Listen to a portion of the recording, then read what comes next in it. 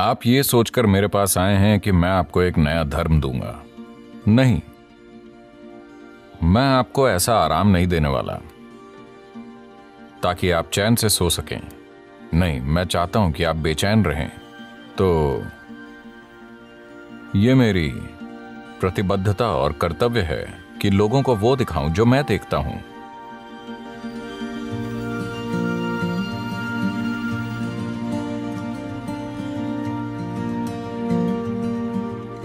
सदगुरु। आपने कई ऐसे महान गुरुओं की कथा बताई है जो अपने शिष्यों को कंफ्यूज कर देते थे।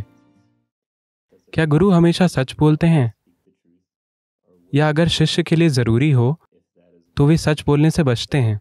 पंजाब से जसमीत। क्या नाम है? जसमीत। ओ अच्छा। मुझे लगता है मैं इसका जवाब दे चुका हूँ। आप सब पक्का करना चाहते हैं।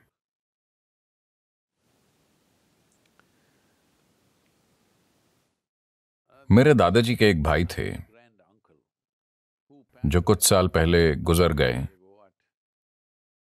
101 की उम्र में। वो एक बहुत मजाकिया और मिलनसार व्यक्ति थे। तो उन्होंने एक बेटा गोद लिया था, जिसकी शिक्षा में कोई दिलचस्पी नहीं थी। मेरी भी नहीं थी, पर मैं हमेशा अगली क्लास में पहुँच जाता था। मैं पीछे नहीं रहना चाहता था, पर वो स्कूल में पढ़ नहीं रहा था। तो जब हम छुट्टियों में उनके घर गए, तब, दादाजी ने मुझसे पूछा आप किस क्लास में हैं? मैंने कहा, छठी में। वो बोले, झूठ। पिछले साल तुमने पांचवी कहा था। अब छठी कह रहे हो? हमारे बेटे को देखो, वो पांचवी क्लास में ही है। वो सच्चा है। ये ऐसा ही प्रश्न है। हाँ? मैंने कहा, सूरज उग गया। शाम में पूछा जाए तो मैं कहूँगा, सूर्यास्त। अरे, ये झूठ है। मैं क्या कर सकता हूँ? हेलो आपने एक सिक्का ऊपर उछाला। मैंने कहा हेड्स है। आपने फिर उछाला। मैंने कहा टेल्स झूठ मत बोलो। पर मान लीजिए एक कई पहलू वाला पासा हो। मैं बोलूँगा एक चार दो तीन छ ये झूठ है? मैं आपका क्या कर सकता हूँ? आप समतल धरती पर जाएँ। दुर्भाग्य से धरती गोल है और घूम रही है। हमेशा एक अलग पहलू दिखता है।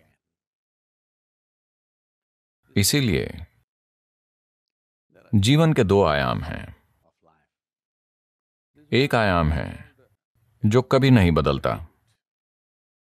जीवन के कुछ आयाम कभी नहीं बदलते। Certain other dimensions of life which are constantly. जीवन के कुछ दूसरे आयाम हमेशा बदलते रहते हैं। यही चीज़ हमारी ऊर्जा में, या हम में, या दुनिया में, या हमारे लिए। पुरुष प्रकृति और स्त्री प्रकृति। पिंगला और ईडा, या सूर्य और चंद्रमा है। सूर्य हमेशा गोल होता है, रोज़ाना गोल, बिल्कुल गोल। हेलो, क्या आपने चौकोर सूरज देखा है? कैलिफ़ोर्निया में शायद देखा हो जब आप कुछ लेते हैं। एक दिन सूरज चौकोर था। पर चाँद को देखिए। रोज़ाना अलग आकार होता है। हेलो? एक दो दिन गायब भी हो जाता है। हर दिन अलग आकार। तो इसीलिए पुरुष महिलाओं को देखकर हैरान होते हैं क्योंकि रोज़ाना अलग आकार।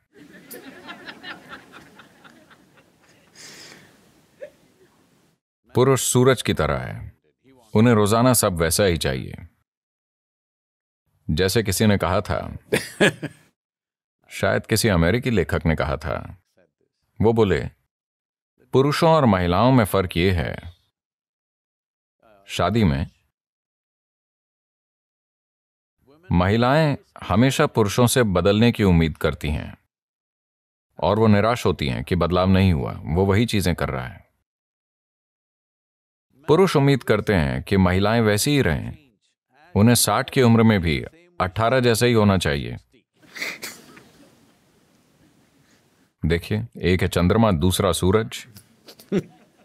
चंद्रमा हर रोज बिल्कुल अलग होता है, अनोखा। तो अगर मैं कहूँ चंद्रमा गोल है तो क्या यह झूठ है? या अगर मैं कहूँ चंद्रमा आज पतला है तो क्या यह झूठ है? नहीं, ऐसा ही है। पर आपको सब पक्का करना है। आप ये सोचकर मेरे पास आए हैं कि मैं आपको एक नया धर्म दूँगा।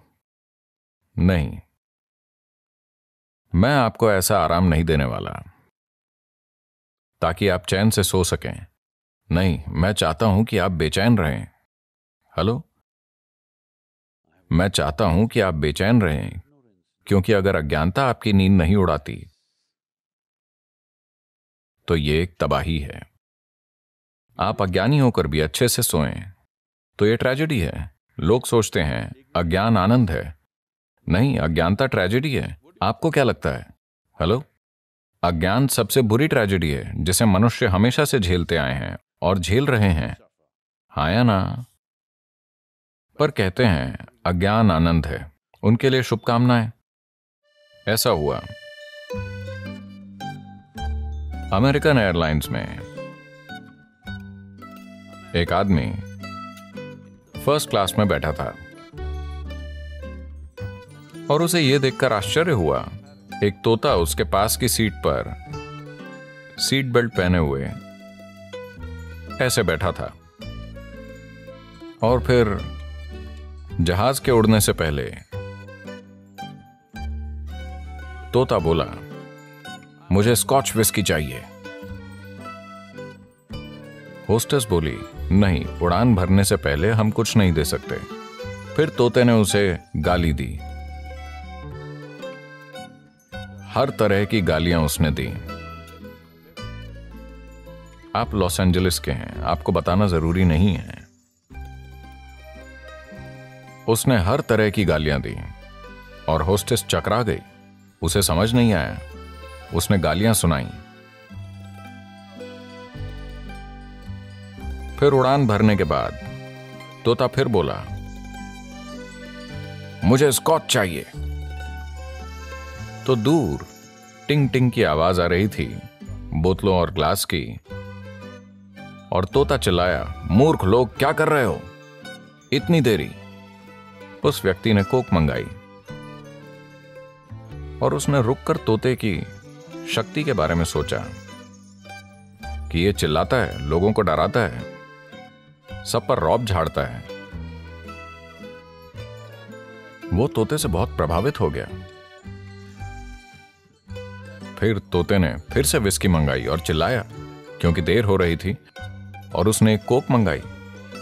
अब उसने सोचा, मैं यहाँ एक कायर की तरह बैठा हूँ तो वो भी चिल्लाया। ये चीज़ चलती रही तोता चीज़ें मंगाकर चिल्लाता रहा और वो व्यक्ति भी खाना मंगाकर चिल्लाता रहा।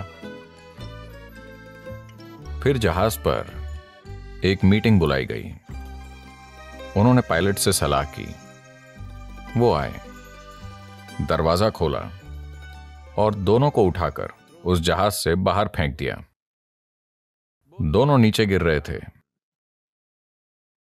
तब तोता बोला, बहुत हिम्मत की बात है। आपके तो पंख भी नहीं है।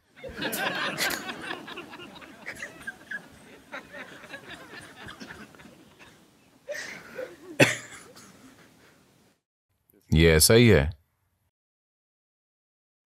अज्ञान आनंद नहीं है, क्योंकि जीवन एक प्रक्रिया है।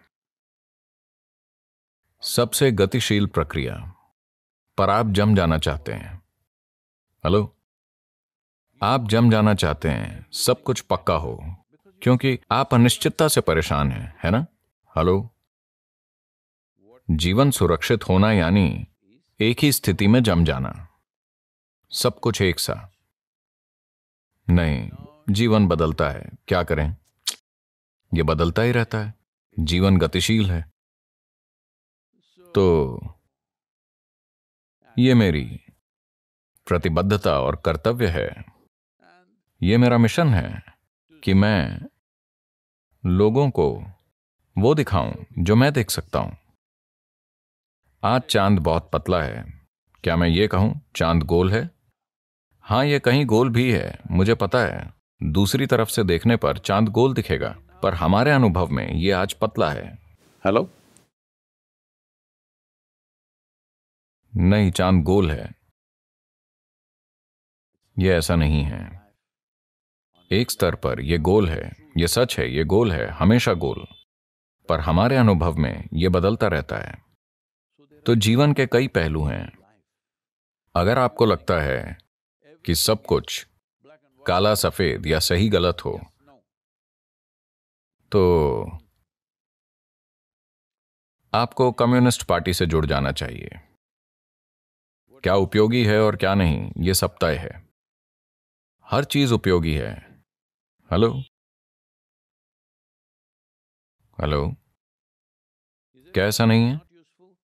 आपको लग सकता है कि कोई चीज़ उपयोगी नहीं है, पर उसका अपना उपयोग है। आया ना?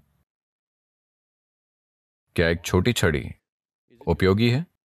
आपके लिए नहीं होगी, पर किसी दूसरे के लिए है। एक टिड्डा, क्या वो बेकार है? हेलो नहीं, वो उपयोगी है, उसका अपना एक पूरा जीवन है। तो आप सब कुछ पूरी तरह से तय कर रहे हैं। अपनी विचारधारा, या अपनी भावनाओं या अपनी फिलॉसफी या अपने धर्म के हिसाब से। आपके लिए सब तय है, या तो ऐसा, या तो वैसा। अच्छा बुरा। मैं ये देखता रहता हूँ, यहाँ तक कि समाचार चैनलों में। समाचार चैनल, अमेरिका के राष्ट्रीय समाचार चैनल। एंकर वाकई बोलते हैं, अच्छे लोग और बुरे लोग। मुझे यकीन नहीं होता था। आप सबसे बुरे व्यक्ति से मिलिए, जिसे आप सबसे बुरा समझते हैं। वो भी सोचता है कि वो अच्छा है। हेलो? आया ना? हमारे लिए कौन बुरा है और कौन अच्छा? ये इससे तय होता है कि हम कहाँ हैं और हमारे सामने क्या है। हाँ या ना? आप सभी कम से कम ये छोड़ दें। आपको कभी खराब मौसम नहीं कहना चाहिए। बारिश हो रही है बर्फ़ गिर रही है गर्मी है पर मौसम बुरा नहीं है। हेलो? आप मौसम को बुरा कहने वाले कौन हैं? हेलो? ऐसे शब्दों का प्रयोग ना करें क्योंकि फिर आप दुनिया को टुकड़ों में बांटते चले जाएँगे। एक ही बात पर अड़ना यानी दुनिया को बांट देना अंत में एक दूसरे से लड़ मरना। वजह यह है कि हमारा मन अड़ जाता है। मन तरल होना चाहिए, तभी वो बुद्धिमान होता है। अगर ये एक बात पर अड़ जाए तो यह सख्त हो जाएगा। एक सख्त पत्थर से आप लोगों को मार सकते हैं। हेलो?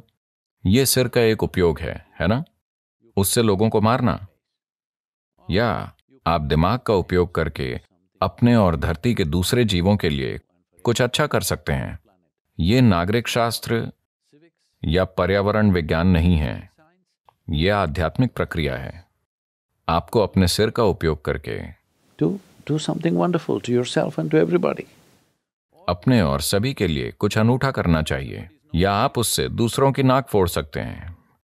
आप सिर का दोनों तरह से इस्तेमाल कर सकते हैं है ना?